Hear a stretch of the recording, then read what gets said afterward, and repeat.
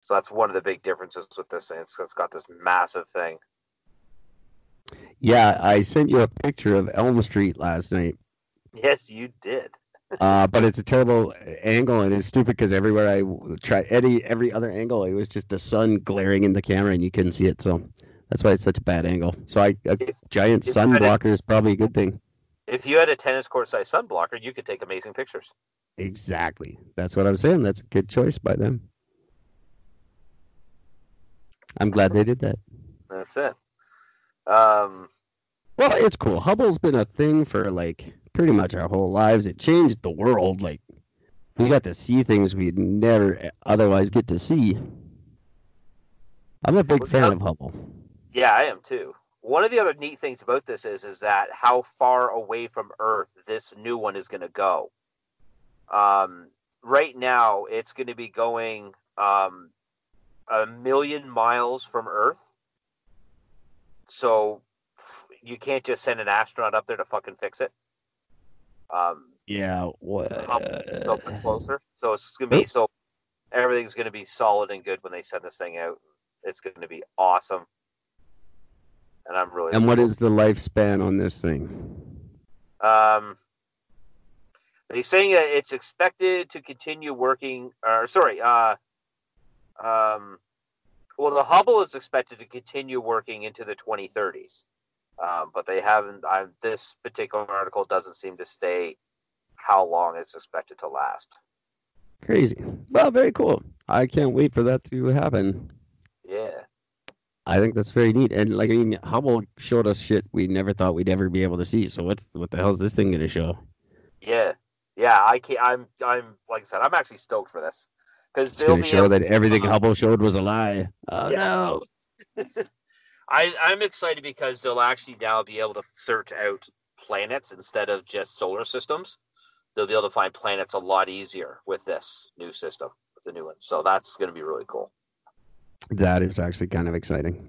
Yeah, so I'm pretty excited about that one. So I'm pretty sick of the planets we know about.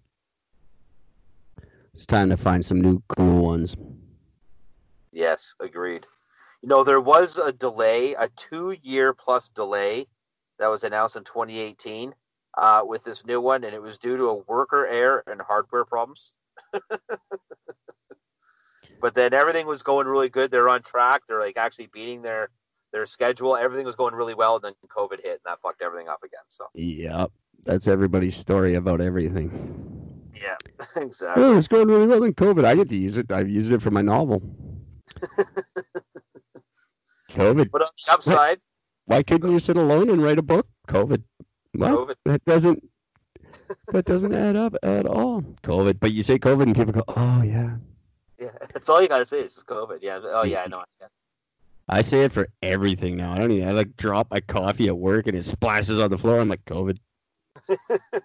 Just, oh. I shit myself the other day, and I literally just said fucking COVID.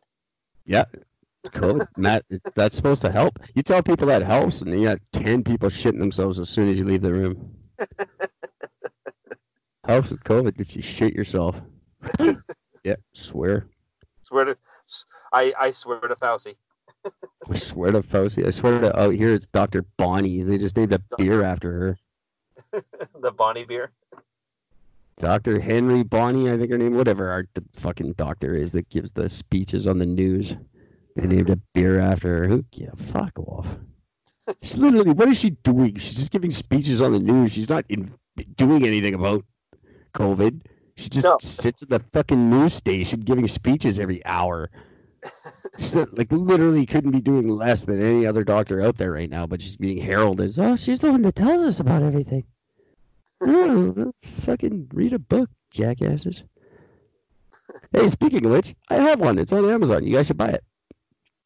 The only bad thing that happened at the Bourbon Hotel by E. Brennan Hunt, now available in paperback on or Amazon e-reader, which you can download a free app and just read it on the computer and buy it.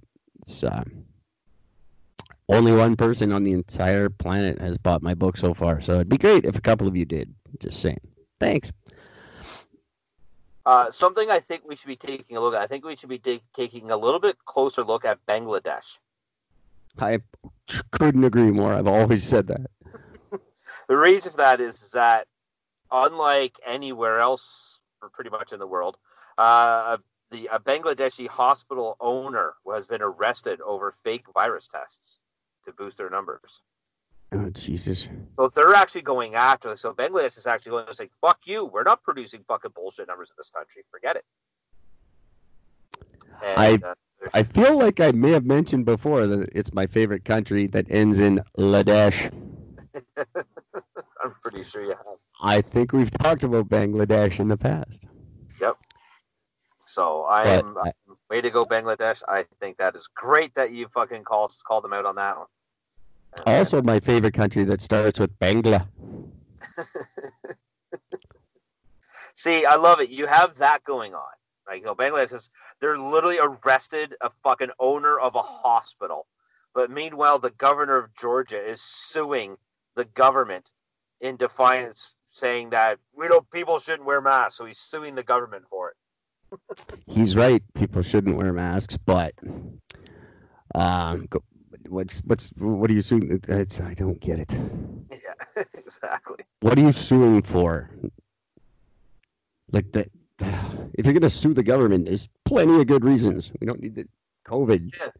It's well, it's the same thing as when they're trying to, you know, fucking pull Trump out of office. Of all the things you have to get him against, you go for the thing you have the least amount of evidence on. Like, come on. Oh, the best thing about that was everyone who worked for him said, "Oh yeah, he totally fucking did that." Yeah, and they still couldn't convict him. no. The world's full of very, very stupid, stupid people. Yep. That's kind of the theme, and it's going to be more of a theme. Uh, tomorrow, if we don't have an interview to do, I will be outside yelling at all of you very, very, very loudly. And I too will have some better news stories, and I will be yelling too. Um, but we may have an interview with a guy who does a thing, and it's very entertaining. You guys don't want to miss it. I'm excited. excited.